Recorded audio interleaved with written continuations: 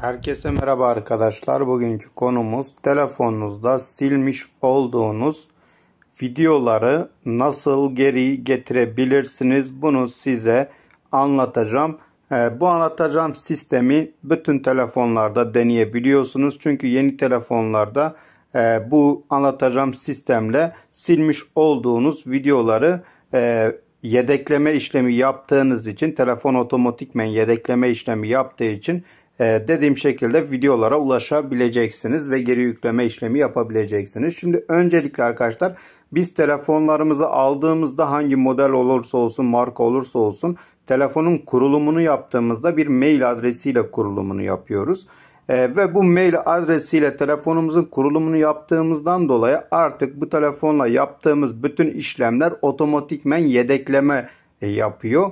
Ve bu yedeklemeyi anlatacağım şekilde siz de bu yedekleme sayesinde e, geçmiş sildiğiniz galerinizde olmayan bütün dosyalara, e, videolara ulaşabileceksiniz. Şimdi öncelikle arkadaşlar telefonunuzda fotoğraflar diye bir bölüm var. Yani fotoğraflarınızın olduğu bir bölüm var ya da mail bölümünüz var.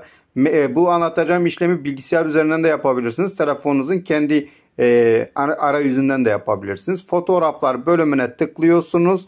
Hemen bakın bu şekilde bir sayfa açılıyor. Sağ üst tarafta e, sizin profiliniz yer alıyor. E, sizin telefonunuzu kurarken kullandığınız mail hangisi ise arkadaşlar öncelikle o maili seçmeniz gerekiyor. Ona giriş yapmanız gerekiyor. Giriş yaptıktan sonra maile kayıtlı bilgiler bakın buradaki gibi karşımıza geliyor. Buraya geldiğimizde en altta koleksiyonlar yazan yere tıklıyorsunuz. Şimdi bakın koleksiyonlar yazan yere tıkladıp aşağıya doğru indiğinizde bakın burada arşiv son eklenenler gibi seçenekler var. Burada biz videoları araştırdığımız için videolar başlığına tıklıyoruz. Bakın arkadaşlar şu an misal burada çıkan videoların hiçbiri benim telefonumun galerisinde yer almıyor.